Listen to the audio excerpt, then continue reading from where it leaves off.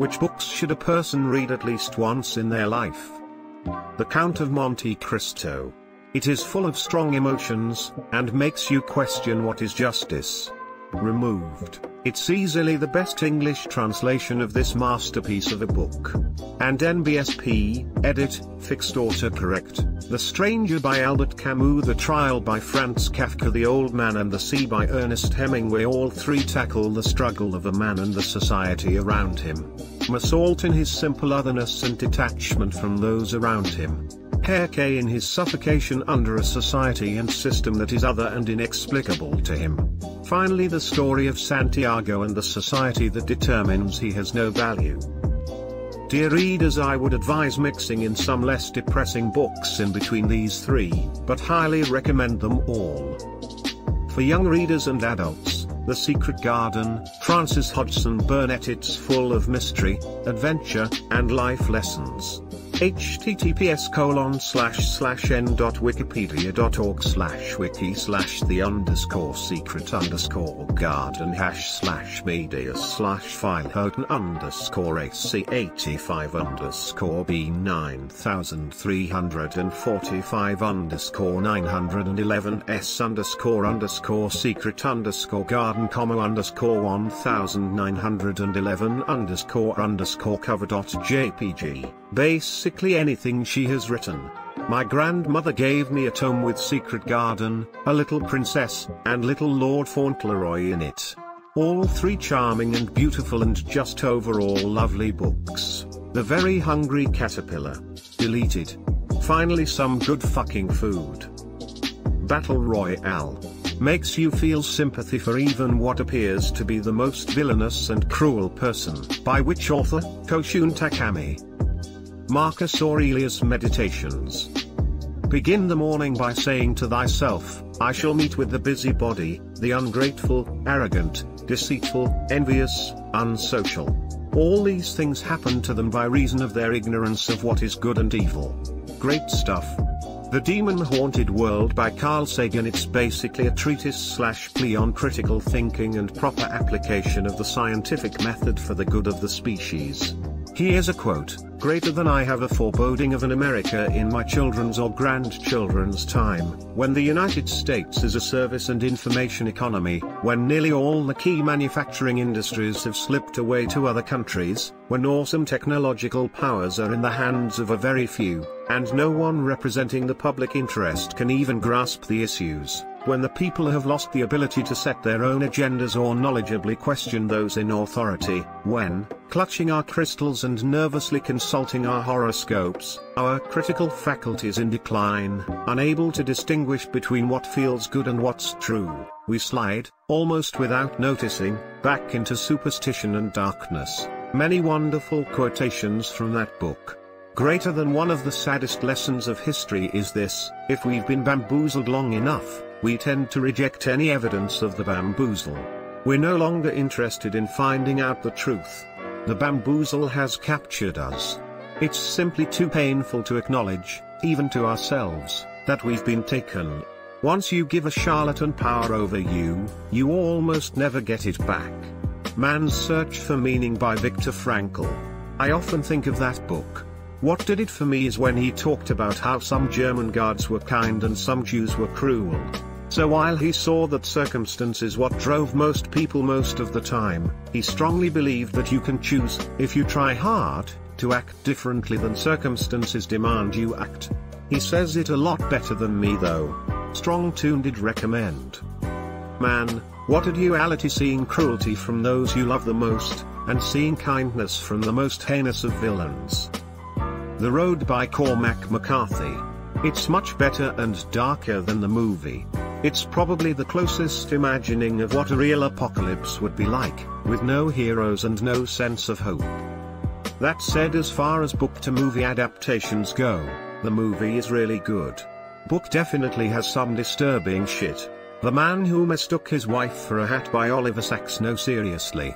It's a non-fiction, journal-style book about a, tilde psychiatrist question mark tilde edit, neurologist, and how he dealt with the different problems, illnesses and issues and in turn how the patients have been able to adapt and overcome the obstacles. It's very moving, not always easy or pleasant but powerful book. Surprised to find this on here but glad that Sacks has other people that appreciate him. Have you read any of his other books? I loved this one and am curious if there are any other you would recommend by him. Edit, thank you for all the recommendations and comments regarding the author, it is good to see his memory lives on. An anthropologist on Mars is pretty wonderful. Catch 22. Hilarious, depressing, couldn't put it down. You must learn Snowden's secret. I absolutely hated this book and was so confused for about the first half, but then there's a single chapter halfway through that twists everything around and made me love the whole thing. I'm really glad I didn't give up on it. I didn't care for it the first time I read it but loved it every time I read it afterwards. Not sure why. Fahrenheit 451. Is it similar to 1984? There are similar themes but in 451 instead of using force and oppression to the government seems to have weaponized distraction and entertainment. Sort of like mixing 1984 with Brave New World. The Martian Chronicles by Ray Bradbury. I say this because this is the book that made me realize that I can enjoy reading too. Huge nerd, name gives it away, and I could never get into any novel we ever read in English class. There were a few I enjoyed, like Tom Sawyer and Of Mice and Men, but nothing that I still would think about weeks afterwards. Then I finally take science fiction literature class and Martian Chronicles is the first book up. I read the whole thing in about two days. This was the kind of thought-provoking science fiction I loved. As well as the best teacher I've ever had. This book is a series of connected short stories about the colonization of Mars. It's relevant, it's smart, it's funny, it was the first time I ever truly enjoyed reading. After that I spoke to my teacher about other things I might like. Huge fantasy nerd too so he recommended me Jim Butcher's Codex Alera series. It's essentially Avatar The Last Airbender crossed with A Song of Ice and Fire. That was the first long-form novel series I read, and I'd be sitting in class getting yelled at to stop reading I was so into it. Butcher's other series, The Dresden Files, is also really really good. Sorry for the rant, this book is pretty important to me. Highly recommended to any science fiction fans. Oh also the Expanse novels, read them. They're fantastic. I remember our teacher took us out to read one of the stories, but because of the bad language he replaced the N-word with the next worst insult in his book which was hipsters so we had a middle-aged man yelling hipsters. Hipsters. Outside our school and it was hilarious. The Importance of Being Earnest by Oscar Wilde, reading plays is a great experience plus this one is hilarious. To lose one parent, Mr. Worthing, may be regarded as a misfortune, to lose both looks like carelessness. I'm going bunburying. I have put some thought into this question over the years. Here is a short list of 20 that I've cajoled my kids into reading as they grew up because I felt that there was a life lesson in each. Disclaimer, some of them are age appropriate. Foundation by Isaac Asimov The Name of the Rose by Umberto Eco Great Expectations by Charles Dickens Jane Eyre by Charlotte Bronte Fahrenheit 451 by Ray Bradbury Anna Karenina by Leo Tolstoy The Great Gatsby by F. Scott Fitzgerald The Chrysalids by John Wyndham To Kill a Mockingbird by Harper Lee The Lord of the Rings Trilogy by J.R.R. Tolkien Don Quixote by Miguel de Cervantes Brave New World by Aldous Huxley 1984 and Animal Farm by George Orwell Lolita by Vladimir Nabokov The Catcher in the Rye by J.D. Salinger Lord of the Flies by William Golding The Hitchhiker's Guide to the Galaxy by Douglas Adams Stranger in a Strange Land by Robert A. Heinlein 2001 A Space Odyssey by Arthur C. Clarke The Stand by Stephen King Flowers for Algernon. Not proud of this but as I had to read this as a teenager rife apt to the bit of his sexual experience with Faye I was horny and we had to read the book yes it was a devastating book and looking back I'm like wow it was good but back then I was a horny little shit and not much has changed tbh. The other comments on this book makes your comment hilarious. Everyone else seems to have had a strong emotional experience, and then there's you, just beating your meat. Thanks for the laugh. Honestly? This ain't a classic and it doesn't have the literary weight of one, i.e. no one is going to call it a literary masterpiece and it's not something you can use to impress people, but get an anthology of Calvin and Hobbes. I recommend the complete Calvin and Hobbes which you can find on Amazon. Funny, quaint, sometimes surprisingly deep and sometimes just a reminder of the importance of friendship, this book has it all. I just read Dracula and I would strongly recommend it, in part because it's phenomenal and in part because there's a lot of irony in the fact that none of the characters know they're Dracula characters. I am halfway through Dracula and keep putting it down for long periods of time, but I will say when I pick it up it is quite addicting at the time written in a very odd style though. The Hitchhiker's Guide to the Galaxy. My teacher wouldn't stop recommending that. I finally got it for Christmas this year but haven't started yet. Seriously, start it when you can. It's a masterclass in satire. It's at times like this, when I'm in the belly of a Vogon warship with a man from Betelgeuse that I wish I had paid more attention to what my mother told me when I was young. What did she tell you? I don't know, I wasn't paying attention. 1984 The Hobbit Lord of the Rings Trilogy The Hitchhiker's Guide to the Galaxy Harry Potter Dune The Stand. Bro, if you like fantasy you gotta check out Brandon Sanderson's stuff. The Mistborn trilogy is fucking amazing.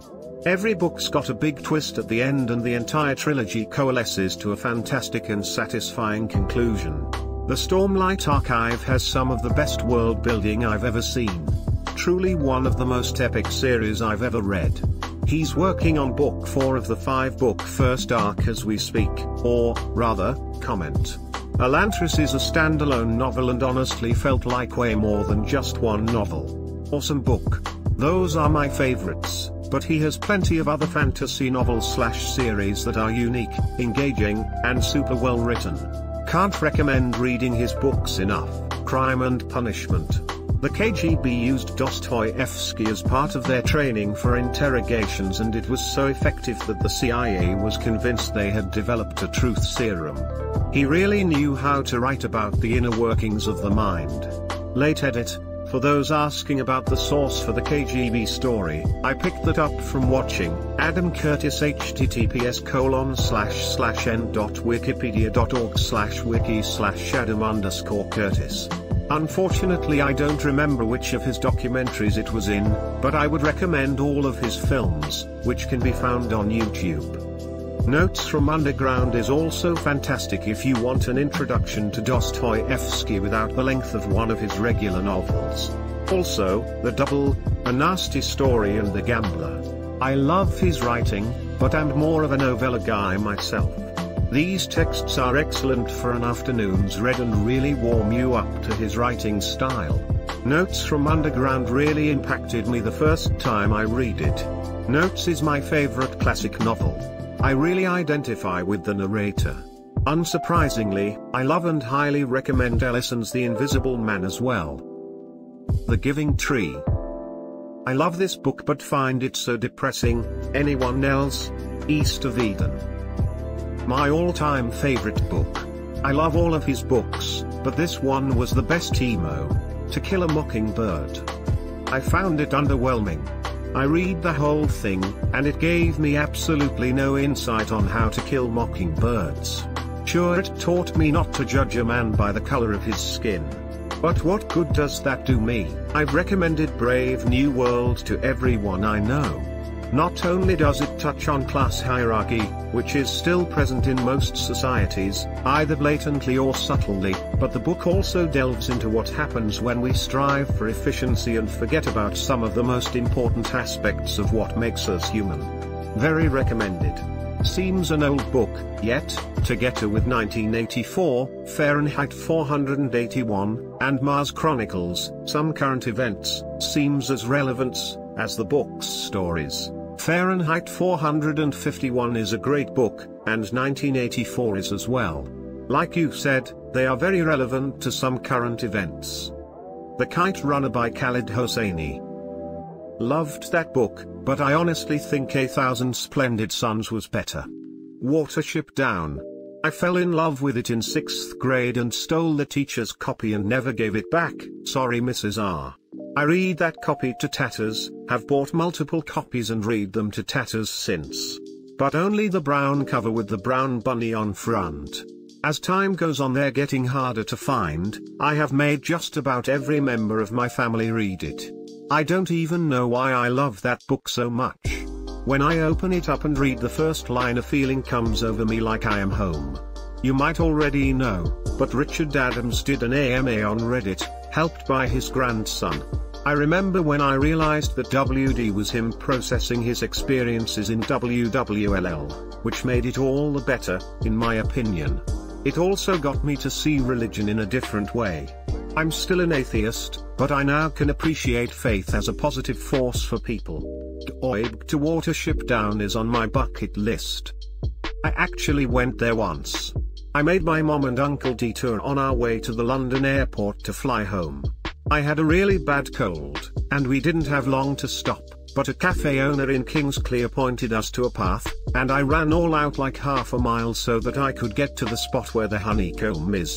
There's a horse track there now, so you can't walk right up among the trees, but you can see them, and you can look down over the hills. It really was beautiful, and if the book means as much to you as it does to me I strongly recommend you go.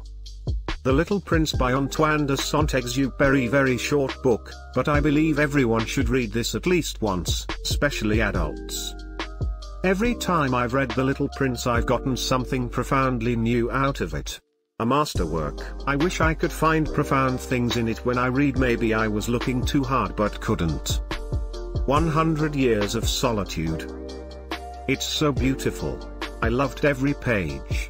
Wherever they might be they always remember that the past was a lie, that memory has no return, that every spring gone by could never be recovered, and that the wildest and most tenacious love was an ephemeral truth in the end. The Things They Carried by Tim O'Brien A Short History of Nearly Everything by Bill Bryson. Short history is one of my favorites. Introduction Welcome. And congratulations. I am delighted that you could make it. Getting here wasn't easy, I know.